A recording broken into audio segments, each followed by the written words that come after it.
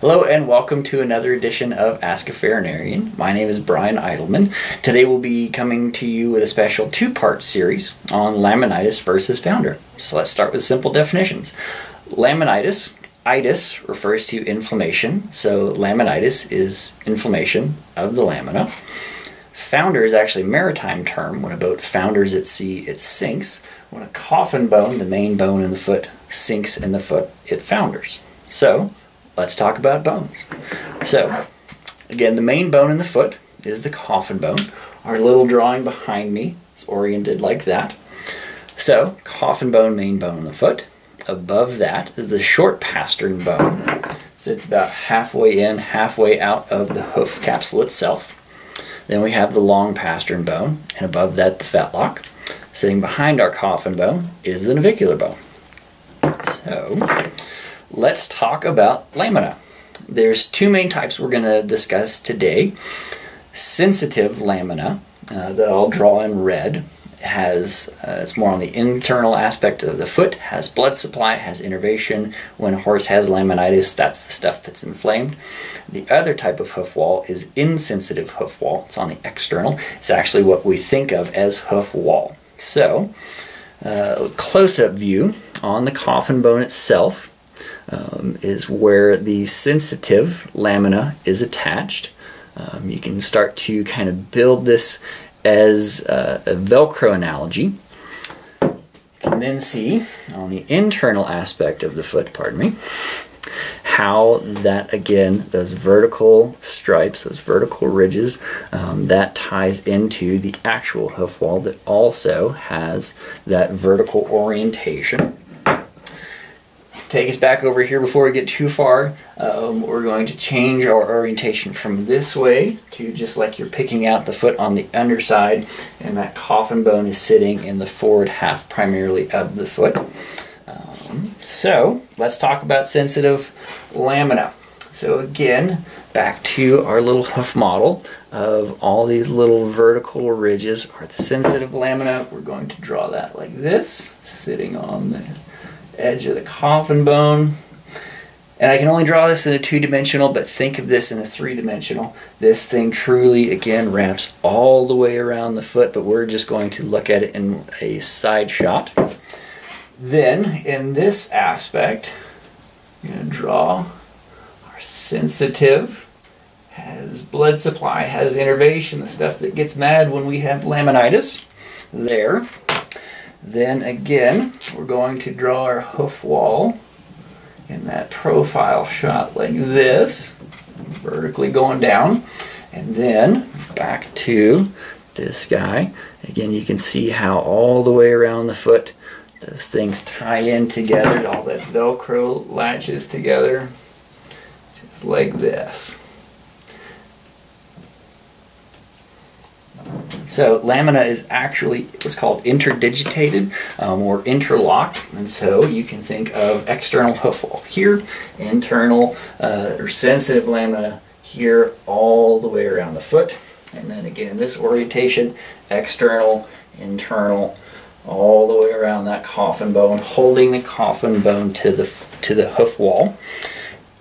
Easy comparative anatomy reference is your nail and the nail bed, all of your fingernails produced at your cuticle and grows down.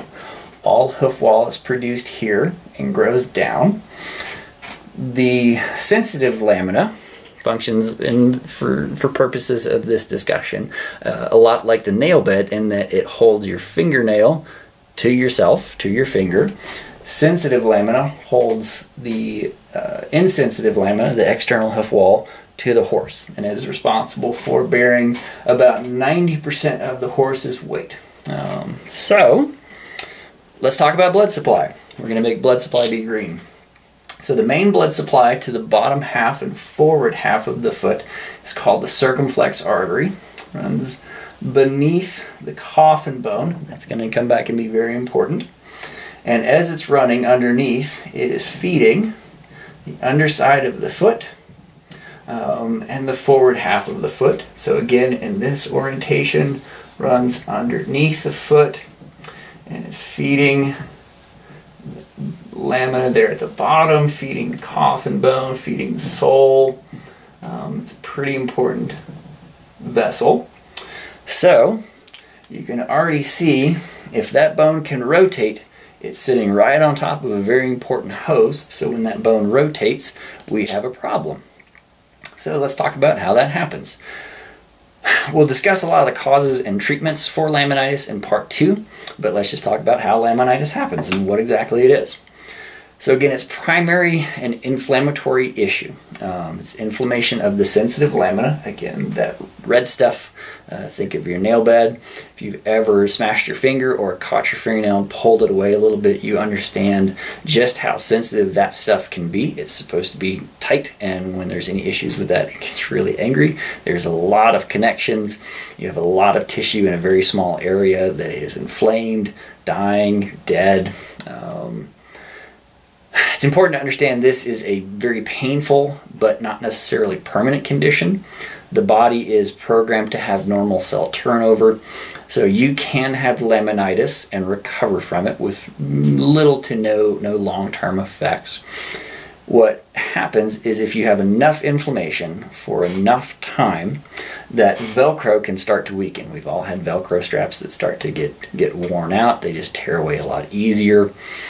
So, when you have enough inflammation um, in that sensitive lamina that it loses its ability to function, is either weakened or dead, um, you can see how when you start to lose a little bit of Velcro and you have that weight of the horse pushing down, all of a sudden you lose some ability uh, to hold that bone in place and it can actually then tear away and rotate or founder in the foot. You've now crossed over from laminitis to a permanent condition of a foundered horse.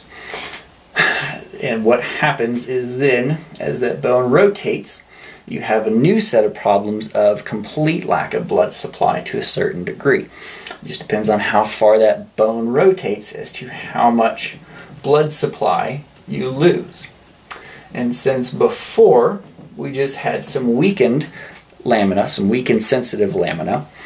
And even that wasn't enough to hold the horse up and hold that bone in place. Now, all of a sudden, when we lose blood supply to it, everything that that part of the artery was feeding is now lost, which in turn overloads what may be compromised lamina anyway, uh, but it for sure overloads it regardless, um, which then allows the bone to rotate more, loses more blood supply, um, rotates more, loses more blood supply, loses more Velcro, which allows that bone to rotate further, and you continue to have tissue loss because you have lost the blood supply to the bottom half and forward half of the foot.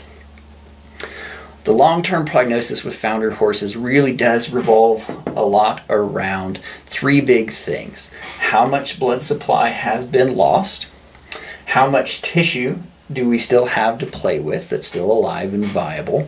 And lastly, has the condition that started laminitis actually been corrected, addressed, slowed, anything like that? So that pretty well takes us on to part two of this series. Thanks for watching. I hope you'll join us.